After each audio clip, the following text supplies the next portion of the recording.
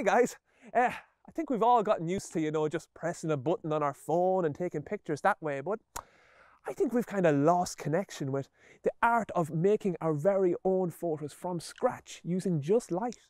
We're going to show you how to do that today. We're going to make a camera that uses no electricity at all. We're going to show you how to create your very own pictures. You don't even need a lens. So why does a camera actually need a lens and what does a lens really do?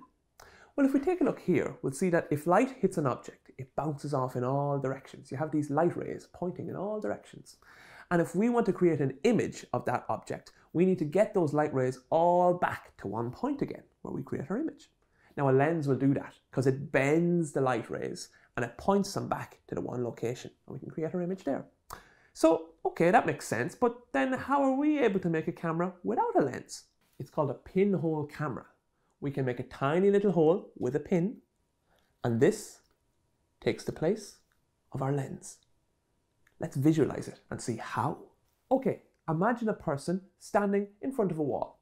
Let's imagine uh, some light bouncing off their face first, and then afterwards we'll think about it bouncing off their feet. So if some light bounces off their face, yeah, it's going to spread out in all directions. Some of the light rays will hit the top of the wall, some the middle, some the bottom of the wall. It'll all be spread out. Now imagine some light that bounced off his foot. Yeah, that's the same. It spreads out in all directions. So some of it's up at the top, at the bottom, at the side. So it's really just a jumbled up mess. And that's why when we look at the wall, we don't see an image. We just see a mixture of all of the different light. Now let's imagine putting our little pinhole screen in front of it. So now there's a big, there's a barrier in front of him. There's just a tiny pinhole in the middle. Now imagine those light rays that bounce off his face. Most of them get blocked by the barrier. Only one little light ray is able to make it through the little pinhole and it goes to a very exact location in the wall. Now imagine the light rays bouncing off his feet. The same thing happens. Most of them get blocked by the, by the screen, but one can make it through that tiny pinhole and it goes to the top. So we can see, we see a flipped image because if we can imagine every other point in his body, the same thing's going to happen. They're going to just one light ray gets through the gets gets through this little hole, and we suddenly see this upside down image of a person on the wall. And that's how a pinhole camera is able to recreate an image just like a lens. So here is a pinhole camera that we created ourselves. And you can do it too at home. All you need is some sort of a box, yeah, like so. Uh, you need to make sure it's completely sealed from the light. You want to be able to open it at one end. I use an old tea box because it already has this little flap on the top. Now you need to spray the inside black. Yeah, it needs to be sprayed black so that there's no light bouncing around. And the most important thing is, on this end, you need to put your little pinhole we've put a little pinhole in a little piece of metal because it makes a very clean hole to let the light through. And you can open it and close it. So we're ready to go, right? Well, there's one small drawback. Because the pinhole is so small, we only let a tiny amount of light through. Remember that? Only this one tiny little light ray comes from each point. So our image is going to be really dark. We need to have some sort of a way of amplifying it, of making that image brighter without using any electricity and let me show you how we do that. We're going to use a special type of light sensitive paper, okay, to create our image. Now, this paper is coated with a chemical, and when light hits it, a chemical reaction happens. So if we keep it in the back of our camera and we open our pinhole, yeah, well then light is going to start coming in. And if we leave the pinhole open for a long time, loads and loads of light rays, all from the exact same point, will hit the exact same part of the paper. So it will gradually build up a brighter and brighter and brighter image. Then we'll be able to take this paper into the dark room and we can develop it and we can see our final image. So let's go start taking pictures. Okay, so we're going to try and take a picture of our lovely science caravan here behind me. Uh, we'll try three different exposures and we'll see how they compare inside. So let's get set up before we lose the sunlight. Okay, so we're set up, we're at just about the right height. We're going to take a 15 second exposure. So I'm going to time it here and I'm going to carefully open the shutter and then don't touch it. We need it to be still. So let's count 15 seconds.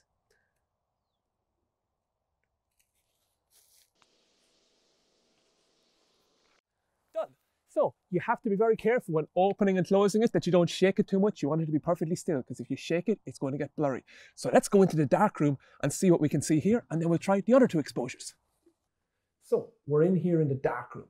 It's safe to open the box now because these red lights won't damage the paper.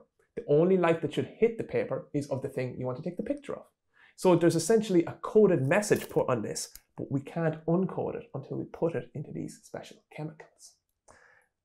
Now you don't want to touch the paper with your hand because you can leave fingerprints on it.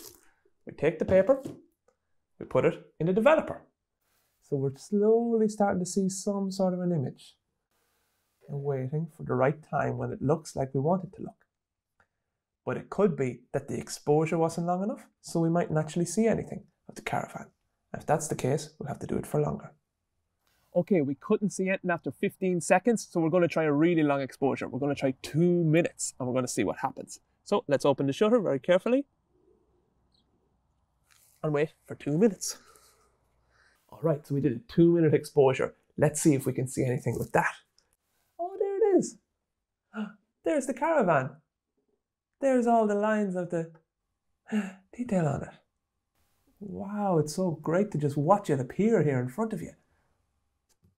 Okay, now we're going to try from a different angle. We're take, coming back a few steps and we're going to try a minute and a half. All right, we're going to take a photograph of these two caravans here. So let's open it up for a minute and a half. Okay, so we have a one and a half minute exposure of those two caravans. So let's see if we can see them. Let's drop it in to the developer. Give it a little swirl. You want that liquid to move around it. And then the developer should start to show us our image. Now what we're going to see is a negative. So bright things will be dark and dark things will be bright. Here it comes. We have the two caravans here. Now we can see it's flipped yeah, left to right because of the way the optical setup is. Okay, so we're going to try one more exposure of that scene with the two caravans, but we're tilting it down a little bit because we had too much sky in the previous one. So let's try three minutes this time. Okay, so before we put this picture into the developer, you might be wondering, why is it that the red lights are okay? Why are we able to use red lights but not other ones? Well, there's a couple of reasons. And number one, if you might remember from a previous video, uh, red light has less energy than blue light, which has the most energy. And then you have all the other ones in between. Think of the colors of the rainbow. The red is the low energy side. Also, the particular chemicals that are here, they're a lot more sensitive up in the blue region. Okay, they're not so sensitive to the red region. So that means these are the particular colors that we're able to use, and it doesn't really affect our, um, our pictures. So remember that day-to-day -day photos will be taken in white light, which is all the colors. Now, let's get this one in and see how it looks. Okay, we're getting a lot more detail here. We can see the shape of the grass. We can see the top of the hedge. We can see the two caravans here. Oh, we're really seeing a lot more detail. When you can see that contrast, that change between different things, you know you're on the right track. All right, so now I want to turn this negative image, yeah, where bright things are dark and dark things are bright, into a positive image. So I can do that this clever way. I take another piece of photo paper that hasn't been exposed. So here we go, it's completely blank. I'm going to take my negative, okay. I'm going to flip it, I'm going to get it a little bit more wet. There we go. Wash everything off it. To turn it upside down on top of the unexposed paper. All right. Get it making contact. So now what's going to happen is I'm going to shine light through here and the light won't be able to get through where it's dark and will be able to get through where it's bright. So now I'm actually going to turn on a light in here. I'm going to use the light from my phone. It'll do just fine. So I'll go one, two, three. So now I have exposed the fresh piece of paper through the negative. So that's going to turn it into a positive. Let's put it in here to be developed and see what happens. So our positive image went to black way too quickly. We get too much light. So I'm going to try again, but with a really short exposure from the light on my phone. So let's see what appears this time. Hopefully we'll get our image, but it won't all go to black. yes, here it comes. There's our image. You can see it. Okay, so we're going to take a picture with our bigger pinhole camera.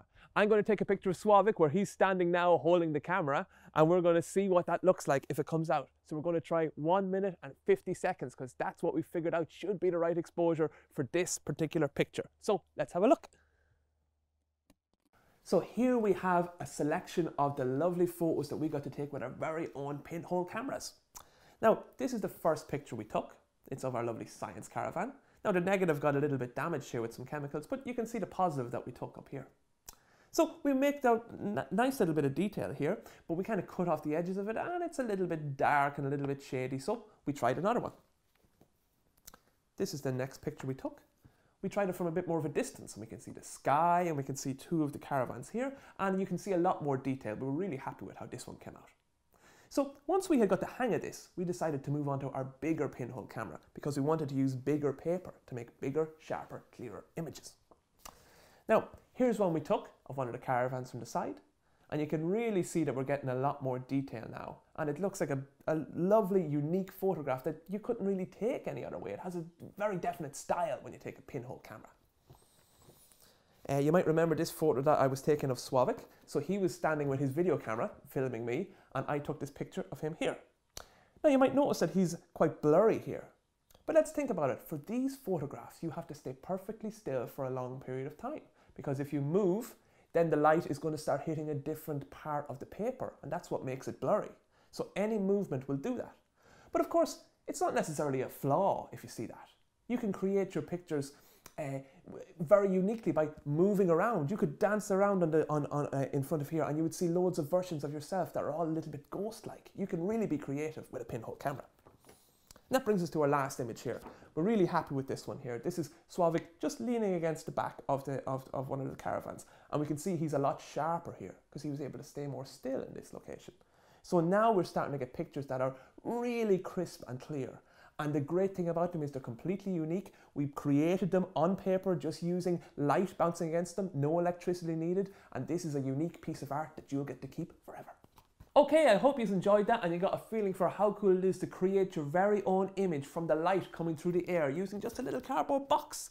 Now, if you want to create this yourselves, you'll find a little link in the description that'll take you through all the steps.